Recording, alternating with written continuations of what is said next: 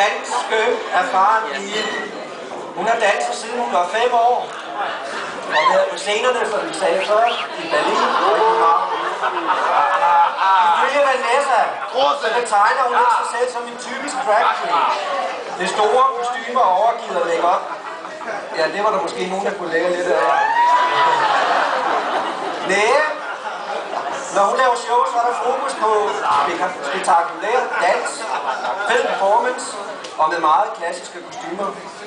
Vi er spændt på, hvad hun har fundet på. Giv hende en kæmpe, kæmpe hånd. Velkommen, Vanessa Kimo.